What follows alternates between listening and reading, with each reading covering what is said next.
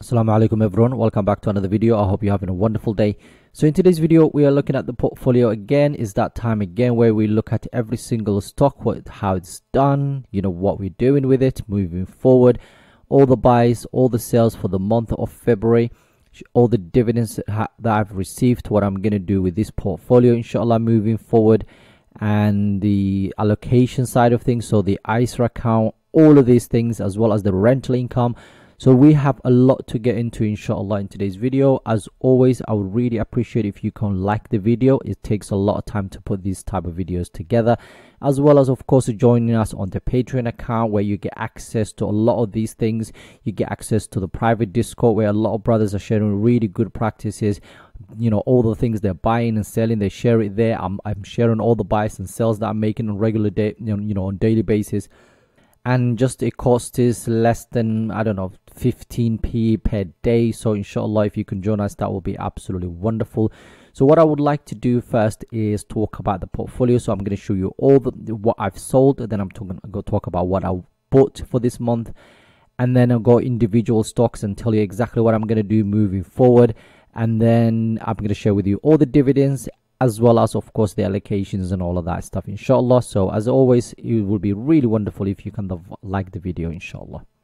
So as you can see here the portfolio right now is 97,846 pounds and that is not the real value of it because there is 527 pounds sitting there right now that will I should be investing in the next either today or tomorrow. And I'll tell you the allocation and things like that in a second. So as you can see I've got 25 in stocks in here and that is the portfolio worth right now. So let's get started. Let's have a look at the buys and sells first so starting what I've sold this month, I've sold 3M and I've sold Unilever. The two companies have been in the portfolio since the beginning of the portfolio. Especially 3M, the situation, the reason I sold it, and I actually lost over 1,500 pounds on that one single stock.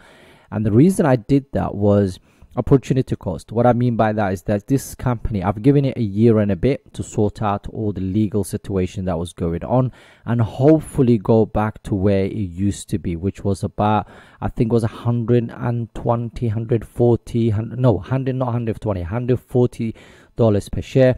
Um, but it has never got to that stage. And the other thing is, I was hoping that they can sort out all the legal situations and so on, but things have not improved at all and my concern was they possibly might cut the dividends. They should be cutting that dividends because it's absolutely ridiculous.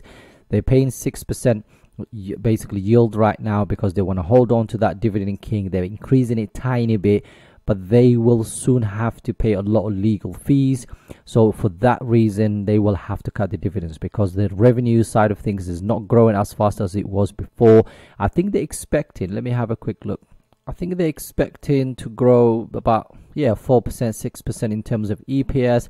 Revenue this year is declining, and then the following year about three and a half percent, and just does not look great to me. Basically, the fact that the company has not done well. If you even look at for me when I bought it, it was the one of the companies whose product I understood. We used to buy a lot of their products and so on and then when I look at the financials, it makes no sense. So the last five years is down 50, over 50%.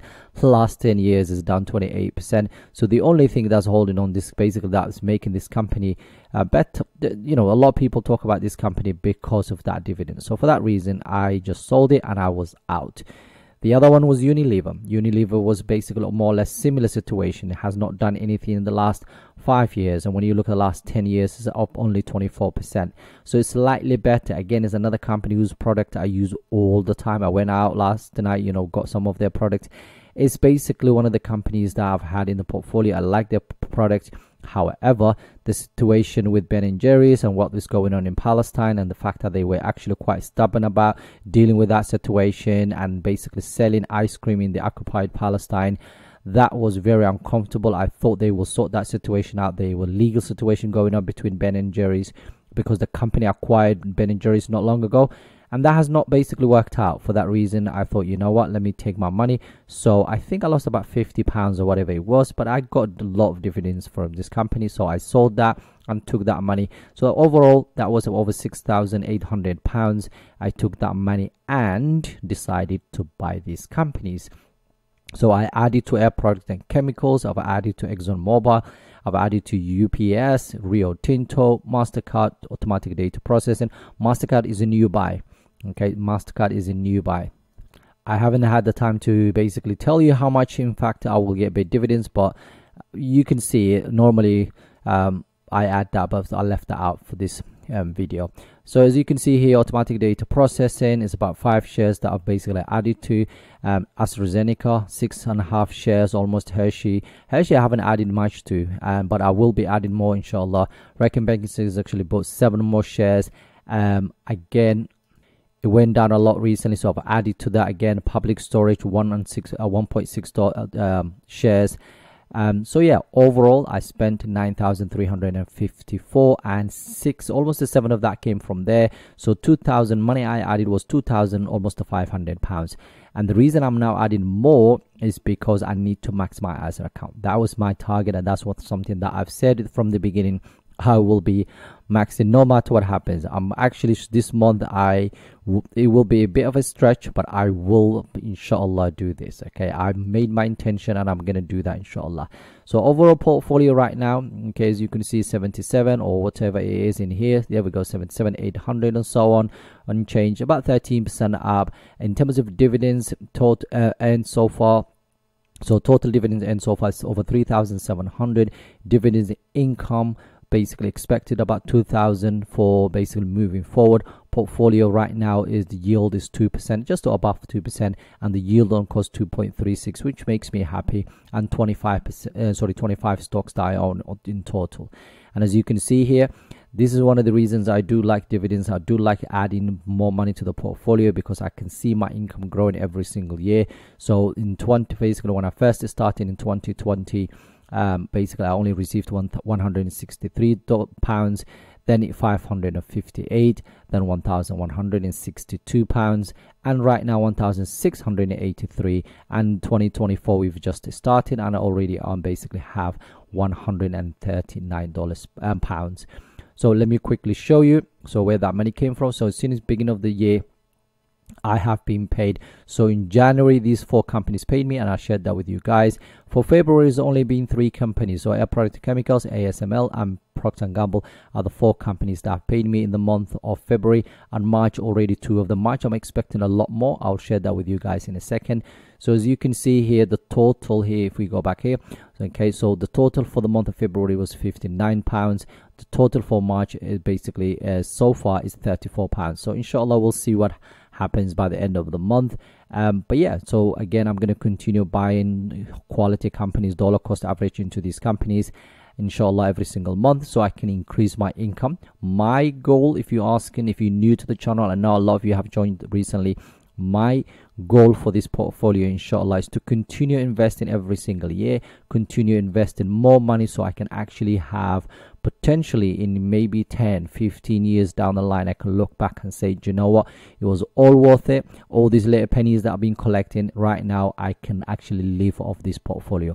It's gonna take a while but inshallah i'm willing to do that. Now let's have a quick look of the entire portfolio so I own 23 shares of oil product and chemicals, ASML. So you can pause the video. So I'm not going to go every single company.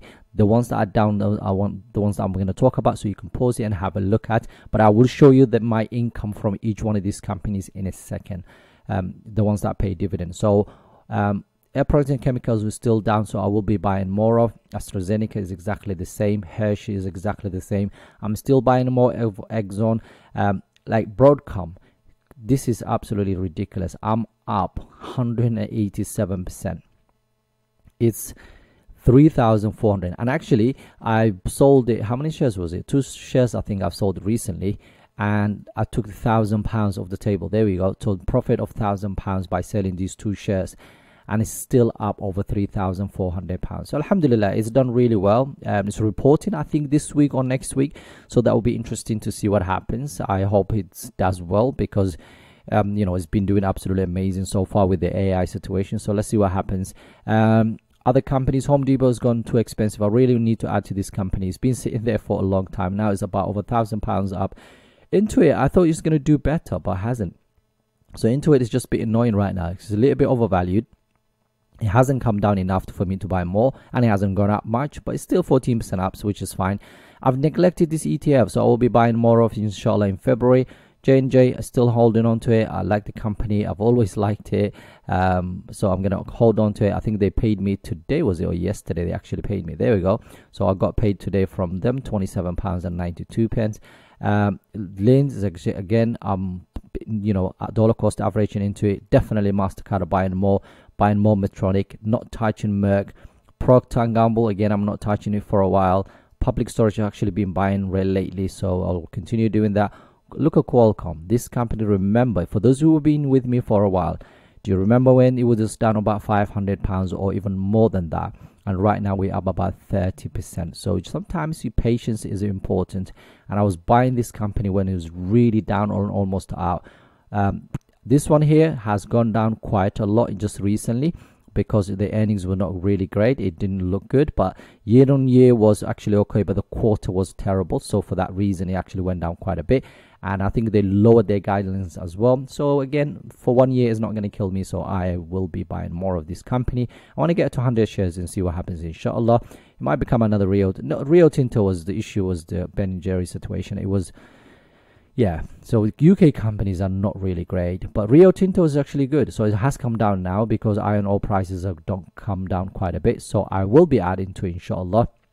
And the reason is because this is a very cyclical business and I knew that. Okay, as long as they don't cut the dividends again, I'm happy with it. But it's a very cyclical business, goes up and down. The dividends is great. Okay, they actually have done they've done well and over basically better than companies like uh, you know Unilever and so on over the last five to ten years. So their total returns is actually way better. S&P Global very overvalued right now. Well, not overvalued as much. I think it's fairly valued right now according to Morningstar. So I'm gonna hold on to it for now. If it comes down again, I might start adding a little bit. UPS, the Union Pacific is exactly the same, and UPS I'm still buying. Um, I might just wait for another drop, see what happens and if it hits maybe another 5% or so down i might actually start buying again a bit more. And visa i love the company but i'm right now starting position in um, mastercard. So i'm going to continue buying more of mastercard for now and then see what happens. So that's the overview of the entire portfolio. Let me just show you the income from each one of these holdings. And as you can see you compose the video. This column is what you need to focus on. So as you can see I'll just scroll down and you can pause the video. But the companies that pay me a lot are not these ones here. So companies like, for example, um, public storage, for example, $187 per pounds per um, per year. That's what I will be getting from this company, and that's taken into consideration the 15% that I need to pay for the US tax and so on. So yeah, that is the portfolio right now as we speak. And again, these are the UK companies, these are the US companies and and that's the ETF that I have in the portfolio. What I'm going to show you now is the rental income. So my rental income for this month is still 484 pounds. Remember I get 550 pounds a month. 66 of that goes to management fee as well as the VAT so the company that manages this um, uh, property takes the of course 10% cut repairs and maintenance alhamdulillah I haven't had anything for the last few months. So that's 484 pounds. That's a one bed apartment in Leicester in the United Kingdom. Um, so that pays me that this much every single month. That's the dividend that we received together 500 and um, 533 pounds which is good. I mean of course i've had months where almost 700 800 pounds. Um, but of course it fluctuates. And talking about that let me show you what i'm talking about and this is what I'm talking about here. Okay again this is US version. Again there's a bit of a it's a difference between there's a little bit of difference between um, what I will be receiving and what you see here because of the taxes as well as this software does not take into consideration a lot of the UK stocks the dividends. Is that it doesn't have accurate information of those dividends. But apparently I'm expecting 455 pounds from from the, from this month. So we'll see what happens inshallah. I will let you know inshallah by the end of the month how much I've received. Even if I receive say 350 pounds I think that will probably be one of the biggest dividends that I've received. Let me just show you um, if I receive 350 okay 350 I've had it before. September um, is so March of last year was 240 pounds. Let's see if we can beat that. If we can beat that will be really nice. Look 20 2020 um, um, 21 was 48 pounds then 120 pounds 241 pounds right now three 34 pounds already so let's see what happens inshallah with that so that's what i'm expecting from this month and i'll show you quickly the companies that are paying for this month and these are so um, public storage UPS. J&J has already paid. Hershey's is paying. AstraZeneca. AstraZeneca is slightly different, so you, it might be a little bit more, a little bit less, whatever happens. UNP, United, Union Pacific, Qualcomm, Home Depot, um, and so on. So these are the companies that will be paying me hopefully in this month, and I'll let you know inshallah as always. Now, final thing I want to show you guys today is my allocation. Okay, so I have now got 2,426 pounds before the before the fifth basically by the 5th of april. So this time it literally exactly a month from today i need to spend that much. So i will be putting a month basically every single week this week as much as i can. I'm going to divide that by four and add that much every single week between now and then inshallah. That's my goal. Like i've always said to you guys i want to make sure that the taxi man is not basically i'm not giving them anything. I'm gonna try my best and I will do that inshallah. I'm not borrowing any money. I'm not doing anything. I've got a bit of a, of course, um, emergency fund, and I'm tapping into that if I need to. I've got another project that's due at the end of the month, so it's a bit of a tricky one. But inshallah, I will do everything I can to make sure I max this account. And what happens after that? So this is the thing I wanted to share with you guys. Now, after I get basically, but at the end of this um, year, okay, by the time we get the six, I will not be adding any more money to this portfolio. I'm going to leave it alone and let it grow. I'm going to open another brokerage account and I need your help. So I will be doing videos soon, soon inshallah, comparing certain uh, brokerage. But can you, if you live in the United Kingdom and you have an ISA account, can you let me know what broker, uh, what brokerage account you have, so I can do a little bit more research, inshallah. And for ISA accounts only, I don't need anything else. I just need for an ISA account. So if you can tell me that would be really helpful. Of course, I know the main ones and we've talked about this before and so on, but I want to see what you guys use and what you think. And I want to something that basically very close to basically trading 212 because I don't want to pay a lot of taxes. Okay, I don't want to pay a lot of fees and commission fees and all of that stuff, right? So let me know what you use, inshallah, and I will um, put a video together to kind of do a quick summary of what is out there and some advantages and so on so on so inshallah. So i am in the hunt to find another i do have another account of course with interactive brokers.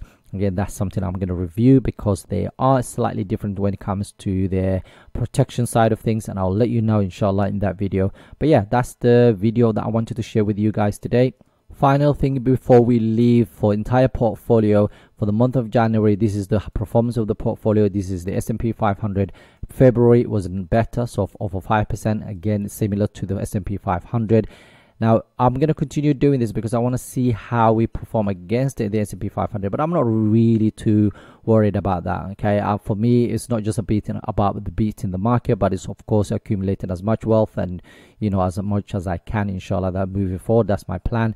And as you can see the portfolio has done about over 9% almost close to 10% and the S&P 500 about 7 70% that should that might change very quickly because the S&P things are right now the way things are going i would not be surprised if we are down 10 15% in the next few months because right now what i'm seeing with crypto and those kind of things eh, we are hitting that bubble situation where we had 2021 and we know what happened exactly in 2022 anyway i'm not just speculating. It can happen. If it happens i'm going to look for quality companies. Like i've always said to you guys inshallah and buy them at cheap prices inshallah.